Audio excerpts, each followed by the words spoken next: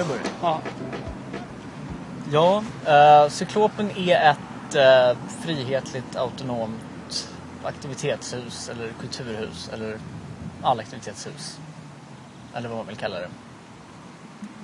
Och ehm, förhoppningsvis ska det hända massvis med balla grejer här.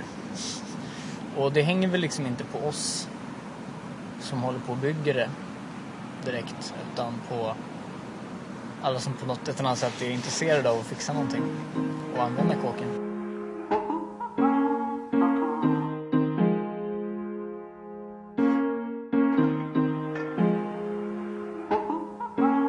Jag har inte liksom eh, förutsett några begränsningar på vad man kan göra i huset.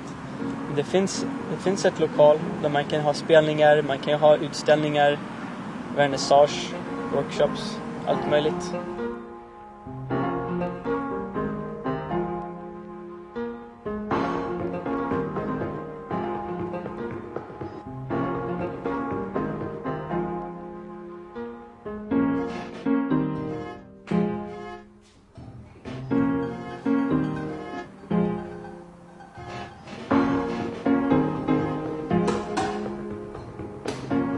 Ja, huset är byggt av i stort sett vem som helst. Det är folk som har kommit, kommit hit på en helg som har, som har gjort den största insatsen.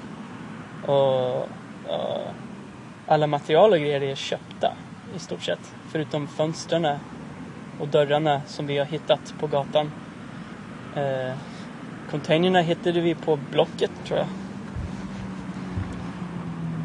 Men tanken är att det ska vara självförvaltat ekonomiskt fristående i att verksamheten täcker driftkostnader för huset. Så att vi inte behöver ha en kontinuerlig bidrag eller så. Att vi inte är beroende på att få in stipendier heller. Anledningen till som jag tror att vi överhuvudtaget fick det här bygglovet är att den här markbiten vill ingen ha. Den, går, den här markbiten går inte att använda till någonting. Eh, och ehm, det är ju väldigt positivt för oss liksom. Man kan inte bygga bostäder här för att det är de här kraftledningarna som ger ut någon form av strålning. Och eh, det finns inget eh, vatten eller el framdragen just till det här stället.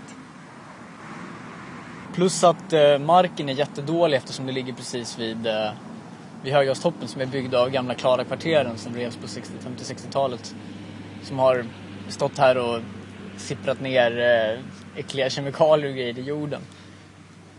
Så att eh, sanitärt så är det väl inte heller det ultimata. Men det, men det duger för oss liksom. Och förmodligen ingen annan än oss. Så det, det är ju bra.